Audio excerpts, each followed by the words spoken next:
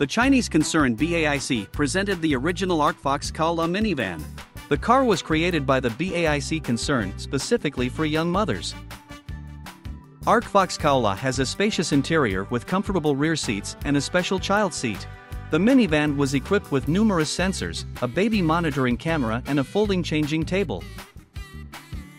The new ArcFox Kaola is characterized by a three-dimensional design with smooth shapes.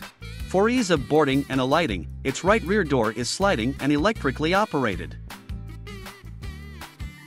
Two separate seats are installed in the cabin on the second row, and the right seat is adapted for transporting pregnant women. It folds down and you can ride in it lying down, and special sensors monitor the health of the expectant mother. In addition, the dates of planned visits to the doctor can be recorded in the multimedia system, and the car will remind you about them. The ArcFox Kaola left seat is intended for the installation of a special child seat with a large number of adjustments.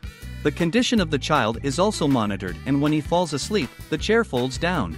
A special camera monitors the baby if he cries, soothing music is played.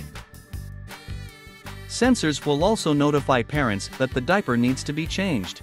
This can be done on a special changing table that folds out from the front armrest. In addition, there is a compartment for bottles with baby formula with heating. The sides of the ArcFox Kaola body are additionally reinforced in case of an accident. The windows are equipped with curtains to create an intimate atmosphere during breastfeeding and changing clothes.